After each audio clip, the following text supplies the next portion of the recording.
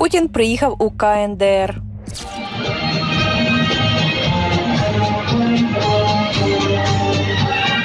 Це візит в країну, яка знаходиться під міжнародними санкціями, і за е, свої політики, і за е, погроз на адресу сусідніх країн, е, і за е, незаконного е, от тут термін незаконний він е, доречний, незаконного е, формування свого ядерного потенціалу, які е, є порушенням міжнародної системи розповсюдження ядерної зброї, і під санкціями проти північної Кореї свого часу підписалися і Росія.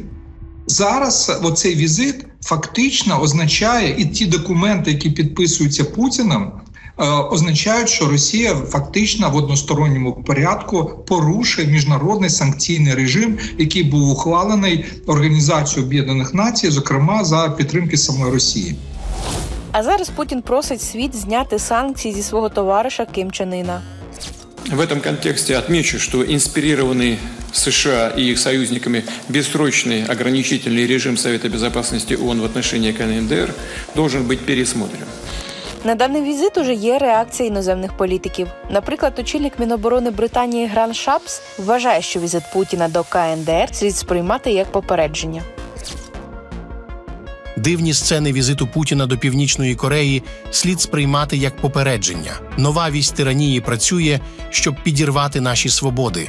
Лише зміцнюючи наші збройні сили, ми можемо стримати їх, але лейбористи хочуть залишити нас беззахисними, оскільки наші вороги поставили нас у приціл.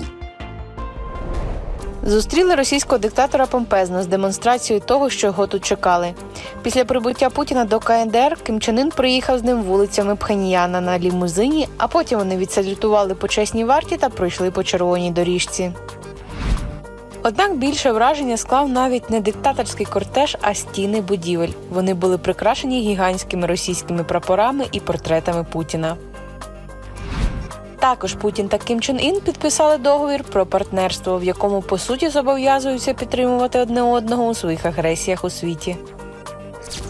Тобто, умовно кажучи, от е, якщо е, Північна Корея розпочне війну проти Південної Кореї і скаже, що це агресія Південної Кореї, е, що тоді? Це означає, що Росія теж має воювати з Південною Кореєю. Далі, от зараз Росія воює проти України і називає, що це е, як е, нібито наслідок дії України, Заходу. Так що Північна Корея буде оголошувати війну Україні чи Заходу? От питання, на які немає відповіді, але е, фактично це означає, що створюється воєнний союз між е, двома е, дуже агресивними диктаторськими режимами між е, е, Північною Кореєю і Росією. І цей союз є загрозою е, для міжнародної безпеки в цілому, враховуючи, що йдеться про дві ядерні держави, е, які поводяться дуже агресивно по відношенню до своїх сусідів. По-друге, це ще і ризик для ситуації в східній Азії. А російську агресію проти України Ким Чен уже виправдав. Уряд Корейської Народної Демократичної Республіки оцінює важливу місію і роль сильної Російської Федерації в підтримці стратегічної стабільності та балансу у світі, а також висловлює повну підтримку та солідарність російському уряду, армії та народу у виконанні спеціальної військової операції в Україні для захисту суверенітету, інтересів безпеки, а також територіальної цілісності. Путін під час візиту задобрював корейського диктатора подарунками.